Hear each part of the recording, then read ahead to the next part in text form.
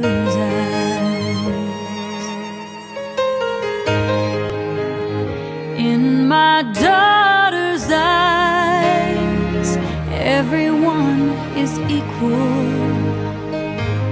Darkness turns to light, and the world is at peace. This miracle God gave to me gives me strength when weak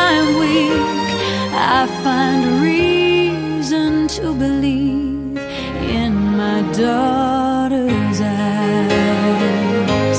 And when she wraps her hand around my finger, hard puts a smile in my heart. Everything becomes.